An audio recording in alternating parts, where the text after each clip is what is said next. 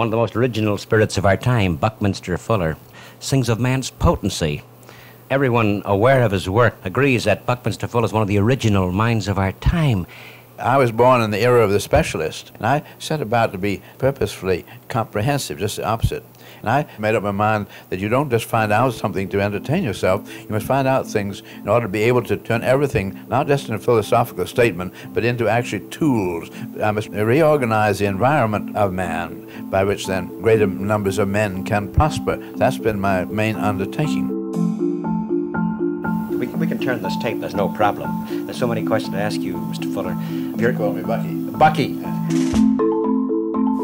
I was married in, in World War One. Our first child was born, and she caught the spinal meningitis and infantile paralysis. It was an awful struggle where this child lived to just before her fourth birthday, and she died in uh, November 1922. So for five years, I was feeling really horribly sad about this kid. I, I felt that uh, if the kind of technology that went into making a battleship and an airplane and guns had gone into, I'm sure this child had caught these things out of the environment, and I was sure that there's something wrong about our environment. In the Navy, I learned how to navigate. I used mathematics very powerfully. I learned how to calculate. I was sure things were just not being done in logical ways.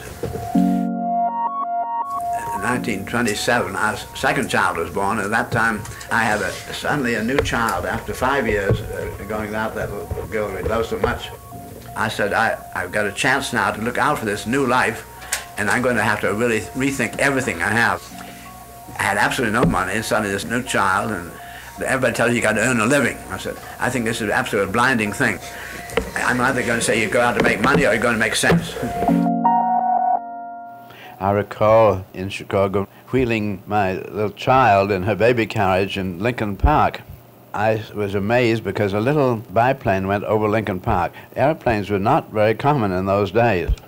I said, Isn't it amazing? Here's my child looking up at that airplane, and that airplane in the sky is as natural to her as a bird because when I was born, the airplane did not exist.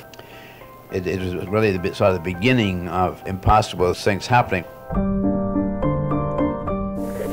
I began to feel for what really needs to be done the very biggest way. Well, I found that I, I couldn't improve an airplane very much. I'm not going to improve the electronics very much. There are a great many pe people preoccupied with that where man was living, he was really very ignorant. It's where people live that need attention.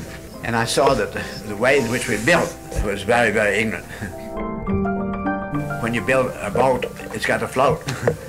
so you learn to do a whole lot with little. It's got to be strong enough not to sink. It's got to carry a cargo.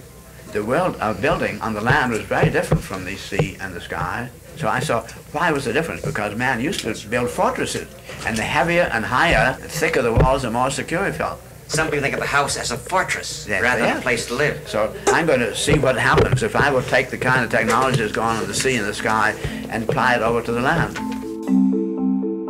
So many things to ask you, Bucky, that you have foreseen thinking of a geodesic dome, do you see actually roofed cities ever? Uh, we're continually doing more with less, and my geodesic domes do a very great deal with very little.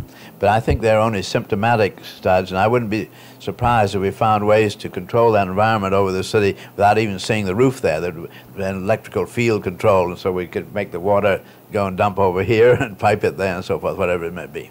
It seems that uh, Buckminster Fuller speaks outrageously, and yet you've come up with so many outrageous explanations that turn out to be right and accurate and true and practical. Time and again, I am asked, who else do you know who thinks the way you do or does what you do? And I find it very strange to have to answer, I don't know anybody else, simply because I really did choose a very different grand strategy, and not because I think that I have capabilities other human beings don't have.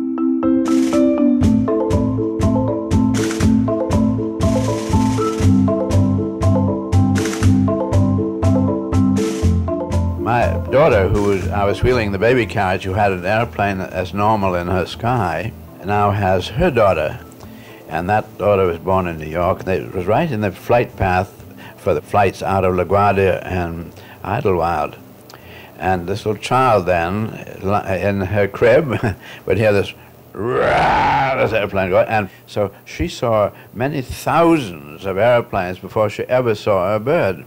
I saw the children's books that were sent to her, which were the same kind of children's book that was sent to me when I was a child. So they were farmyard. There was the barn and all the nice natural things that a child would see, the horse and the pig and the cow and the goat, sheep, rooster. Um, my granddaughter in New York City uh, looked out the window and saw those airplanes, and she saw the automobiles going by by the millions. But when they gave her this, this farm book, she'd never seen a sheep or a cow or thing.